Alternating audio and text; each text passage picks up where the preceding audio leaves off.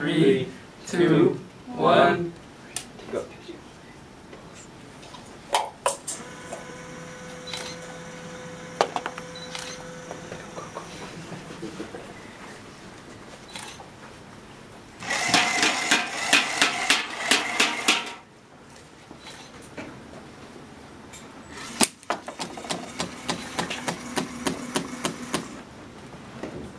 Yeah, crack.